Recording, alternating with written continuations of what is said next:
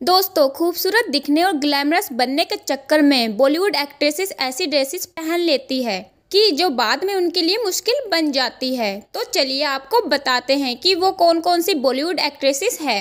Number one, Kriti Sanon.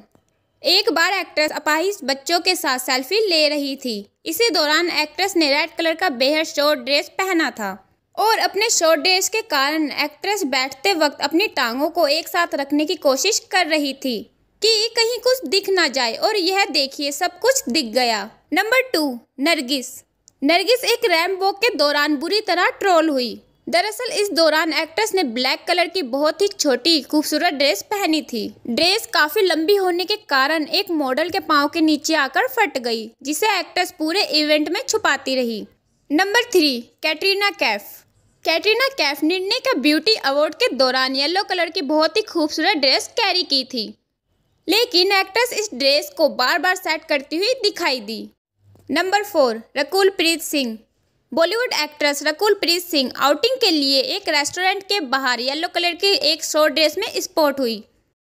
Actors जैसे ही photographers को पोज देने लगी तो उनकी ड्रेस हवा में उड़ने लगी, जिसे संभालते हुए रकुल प्रीत सिंह फटाफट वहाँ से चली गई।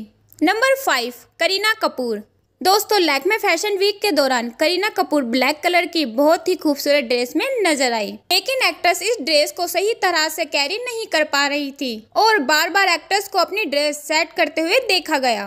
दोस्तों, यह कोई पहली बार नहीं था। करीना कपूर को इससे पहले भी लैक्मे फ़ैशन वीक में रैम वॉक करने के बाद इनके हाथ को ऐसी जगह देखा गया। तो दोस्तों, आपको कौन सी एक्ट्रेस सबसे ज़्यादा पसंद आई? आप अपनी राय हमें कमेंट बॉक्स में कमेंट करके ज़रूर बताएँ।